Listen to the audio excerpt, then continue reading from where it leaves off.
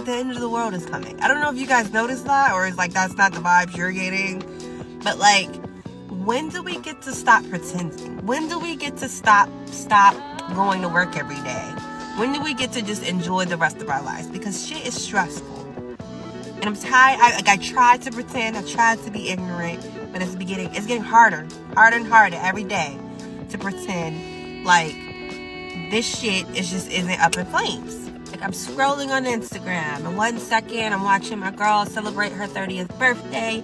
The next post is showing me a lifeless body of a baby who just got bombed.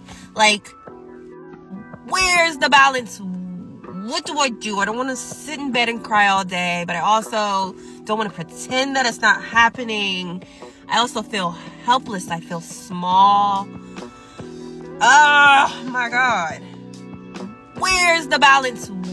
What do I do? I don't want to sit in bed and cry all day, but I also don't want to pretend that it's not happening. I also feel helpless. I feel small. Oh my God. Where's the balance? What do I do? I don't want to sit in bed and cry all day, but I also don't want to pretend that it's not happening. I also feel helpless. I feel small.